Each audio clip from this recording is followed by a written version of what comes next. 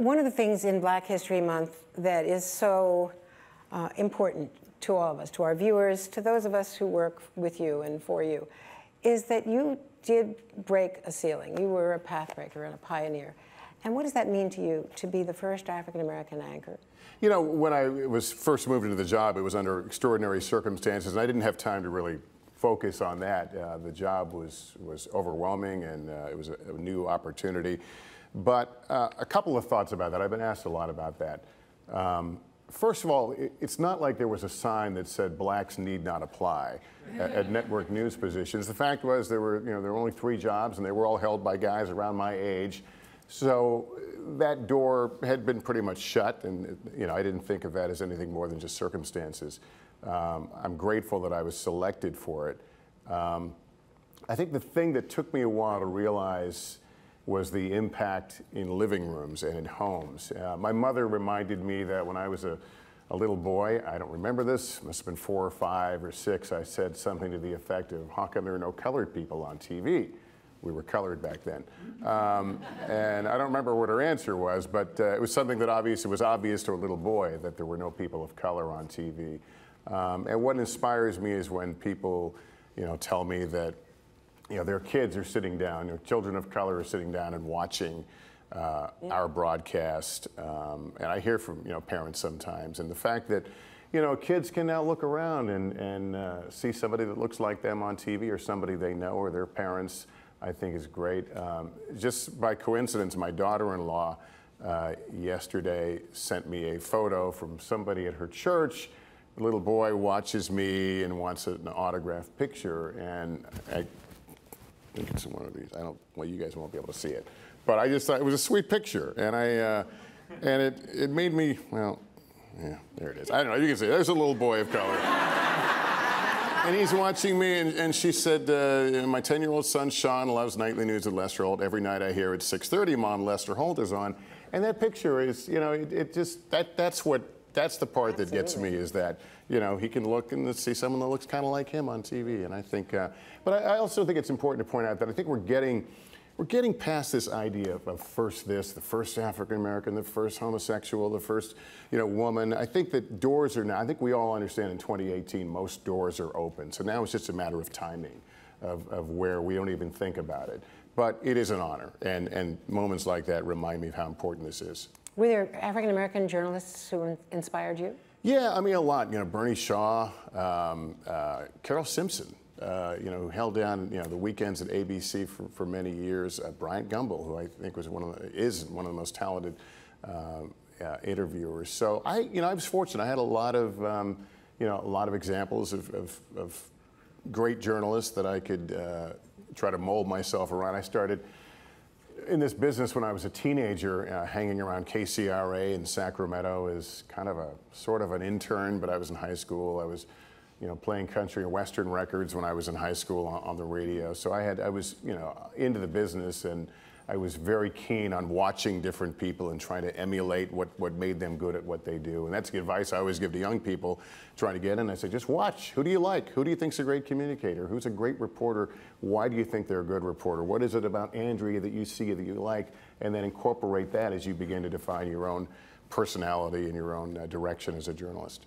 I want to ask you about the first, the, the interview you did with President Trump which has now become not just an interview and a really important one, now become a piece of evidence in the Mueller investigation. um,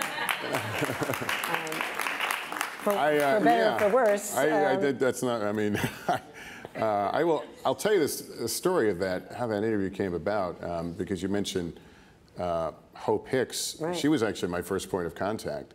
Uh, I said, you know, I'd like, you know, like to speak to the president. We haven't done an interview since he's become president, and she was quite helpful. And ushered me into the Oval Office, and I asked the president, I said, we should talk. And they made it happen. In the time between they agreed and the time we did it was when uh, Comey was fired. So up until that point, the focus, I had just come from uh, uh, Korea, so I was Did you think they'd cancel?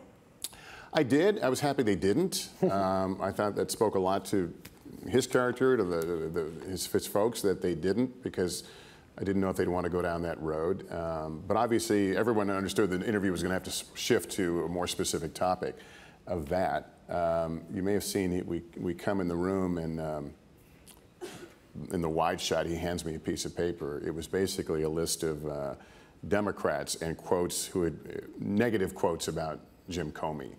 Uh, he wanted me to have that. Uh, and then You told him you read the tweets and you knew you, you were ready. I'm going to borrow from one of our competitors. Uh, I report, you decide. So let me just uh, let me just tell the story. Uh, but um, yeah, so uh, you know, we went there, and um, there was a uh, there was an SNL skit that actually captured um, one of the thoughts that went through my mind. Was like, he really said it.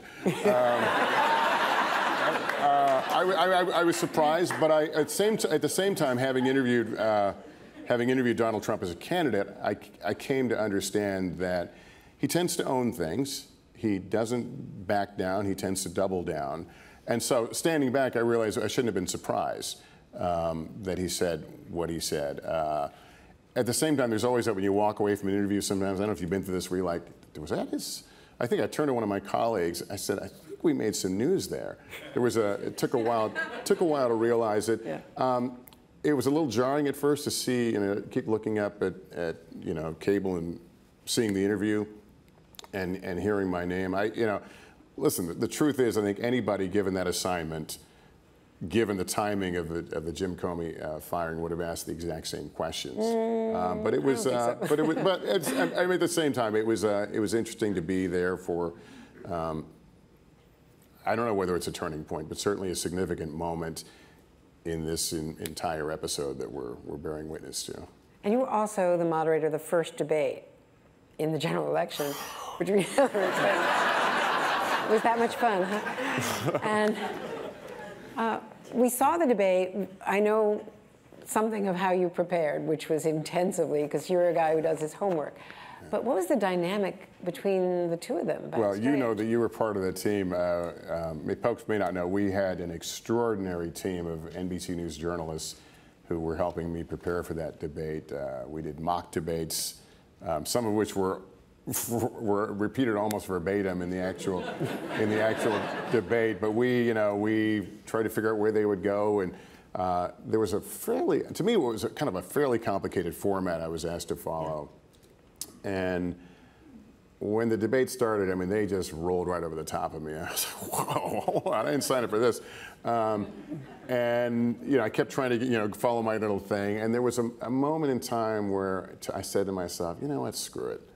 I'm just, we're just, let's just do this. Um, you know, I can't, um, you know, this, any sense of, um, you know, I, I, had to weigh this issue of, uh, of fairness, of um, timekeeping, equivalence, uh, you know, and I just decided, you know what?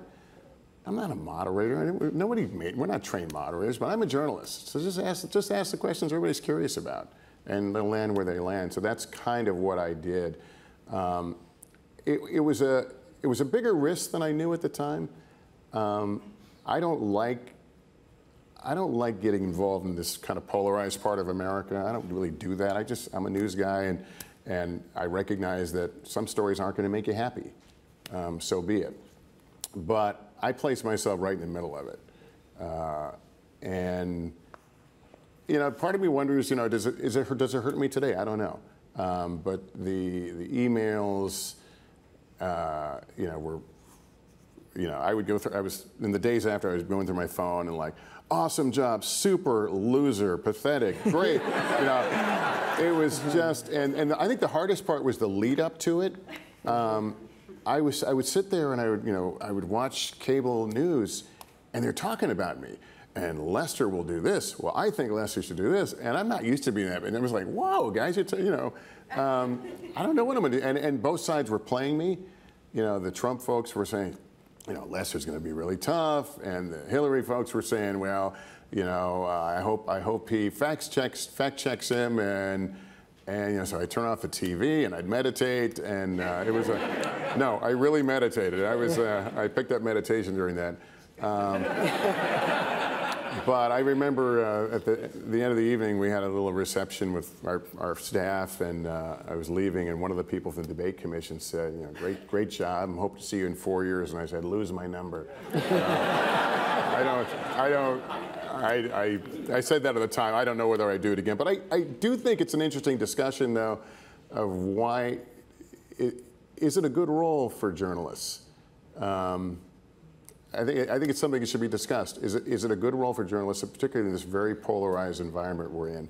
Um, we're not debate moderators. We're journalists. And so, as I tried to do, we're going to go for the, we're going to go for the, the stories. And they may not necessarily fall in, in what people think is fairness and equivalence uh, and all that. But uh, I have not watched that debate yet. I was at another forum very much like this, and they showed a 30-second clip, and I, you know, I looked away. It was, uh, um, it was not a fun experience, but at the same time, it was incredibly gratifying to be asked to be part of it. Um, uh, but I have never done anything more stressful in my life, and I can't imagine anything more stressful.